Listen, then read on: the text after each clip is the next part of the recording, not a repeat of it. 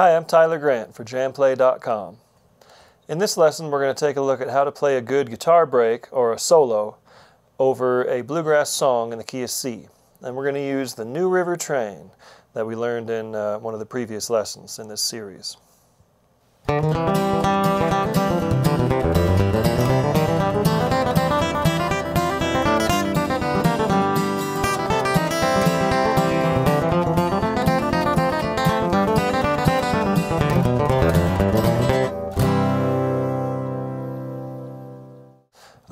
Let's take that solo and break it down. Realize that I'm using some standard licks in here. Um, we'll get to those. Uh, but mainly, I'm targeting the melody notes. So remember this, this, this song begins with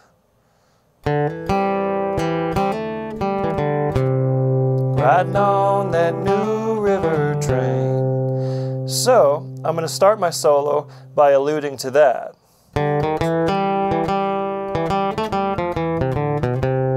That's the first lick.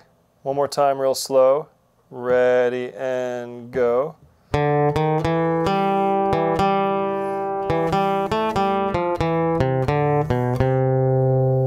So you see how I'm taking that song melody and kind of making a little bit of a fiddle tune out of it just by putting some fiddly licks in it. And this bluesy lick with the flatted third.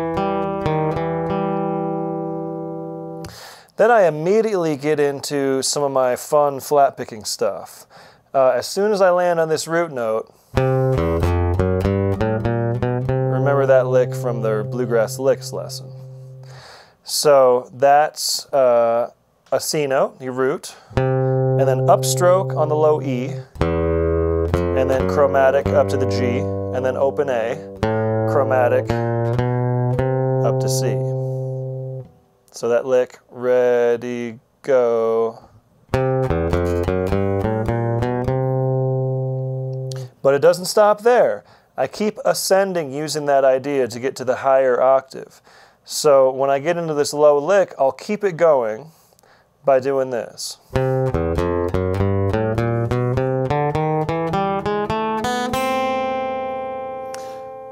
So that in itself is a fun, uh, a fun little, little idea, especially if I break it down this way, starting on the G and go chromatic from the open A to the C, and then open D, chromatic up to the second fret, open G, chromatic up to the second fret, open B, and the root. So put that all together, starting on the low G and ascending, and it sounds like this.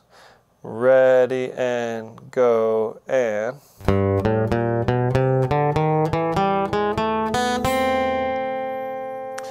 So you could take this, this is actually a common tag.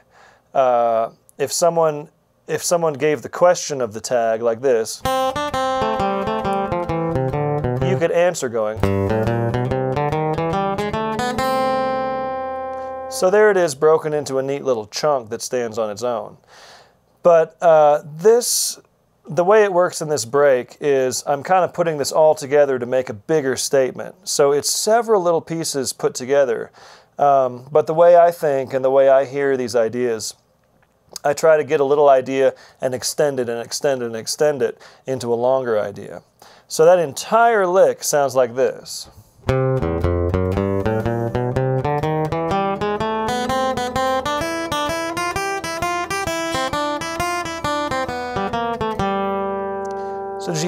Extended it all the way up and then I kept going?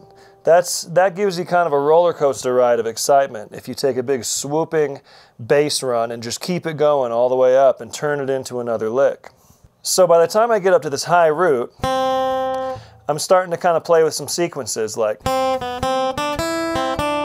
that kind of thing. Specifically, I'm playing this by the time I get to the high root. Ready and go and.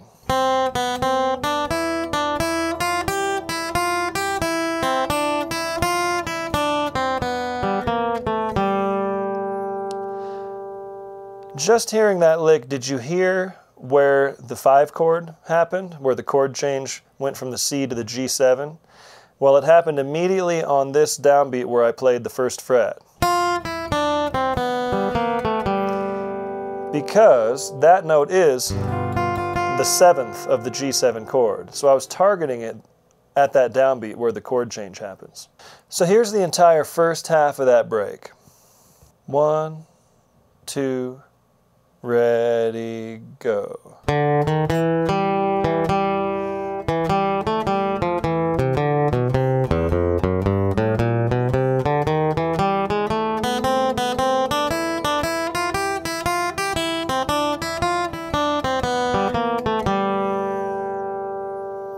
Now that's a great place to take a little pause.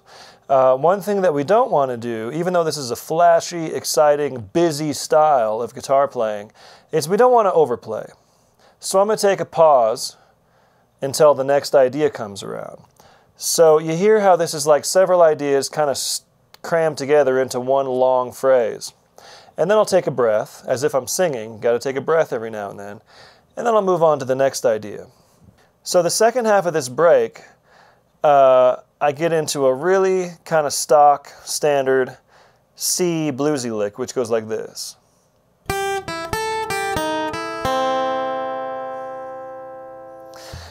Now that's a really bouncy, kind of bluesy thing, um, mostly kind of from the style of Doc Watson.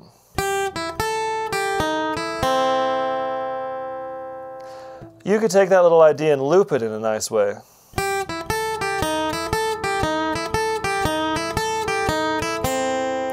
Get that little little bluesy bend, because that is the flat third. And it's resolving to the major third, which is the open E string. So you hear this a lot in flat picking.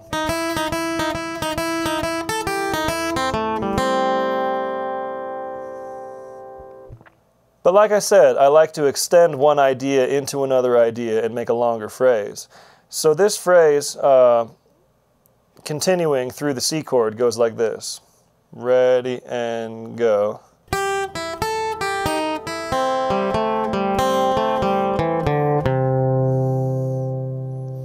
So that is simply a C major pentatonic scale from the root down to the octave. So you put that first lick together, and when I land on the root, I'll just play that C pentatonic on the way down.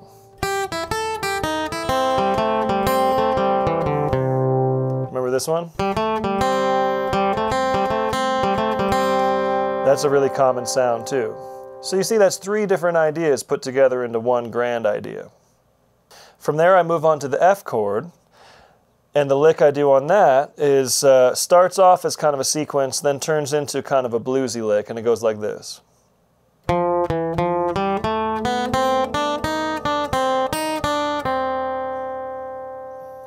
So there I am on the four chord in the key of C. And remember on the four chord, we can use those bluesy ideas because the four chord has a dominant seventh on it. F7, you know, if you're in a blues.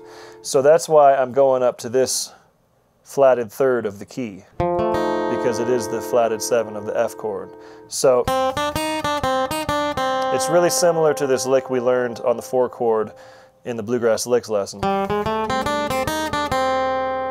So you hear that seven of the of the F chord. So here's that lick on the F chord one more time. Ready and go and.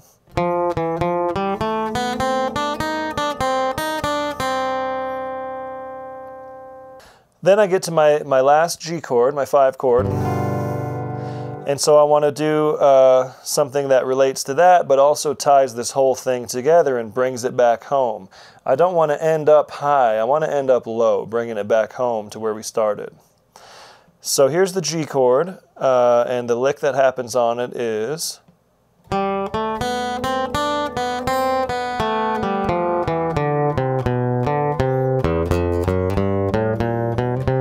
So that last little C run played that already, but it's just a little punctuation to bring us back to the one. So from the G chord to the end, it goes like this. Ready and go and.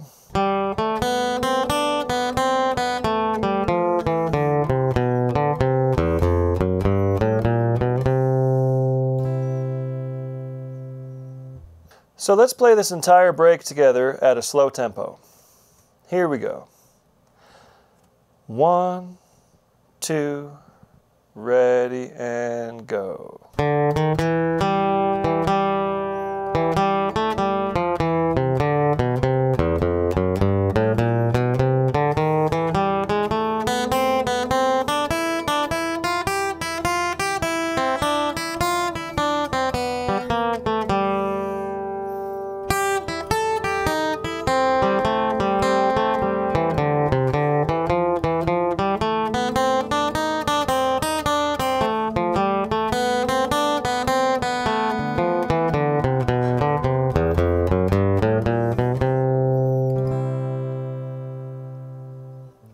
Now learn that and take it to your next bluegrass jam, and you'll turn some heads for sure.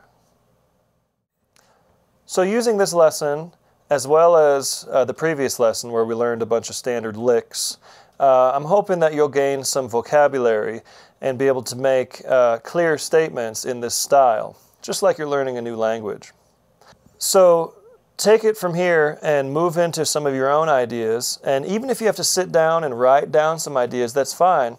Uh, but come up with some of your own ideas and take off uh, using this style. Um, you could you could play the rhythm track and record the rhythm track, or use the the rhythm uh, that's on the supplemental materials on this lesson and play along at, at a slow tempo, and start trying to improvise some of your own ideas through this. But just remember, always keep that song going through your head as you go. Don't take off too much from the melody of the song. You want to tie it in there somehow.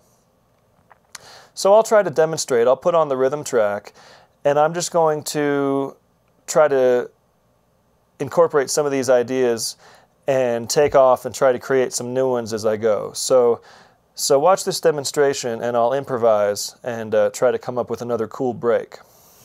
One, two, one, two, three.